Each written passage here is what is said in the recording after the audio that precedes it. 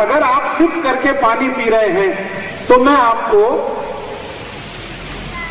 जो चाहे उतने रुपए के स्टाम्प पेपर पे एक सेंटेंस लिख के देता हूँ। हज़ार रुपए का स्टाम्प पेपर हो या दस हज़ार का या एक लाख का। अगर जो भी ज़िंदगी में सिप करके पानी पिएगा, मेरी गारंटी है, मेरी नहीं, आयुर्वेद की गारंटी है कि ज़िंदगी में कभी भी उसको मोटापा नहीं आ सकता। ओबेसिटी कभी भी वज़न नहीं बढ़ेगा।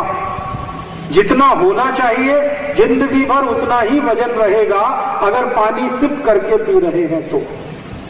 आप इसका उल्टा प्रश्न पूछ सकते हैं, जो वज़न बढ़ गया है तो।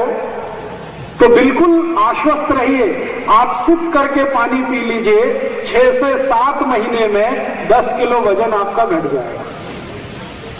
अगर बढ़ गया है तो।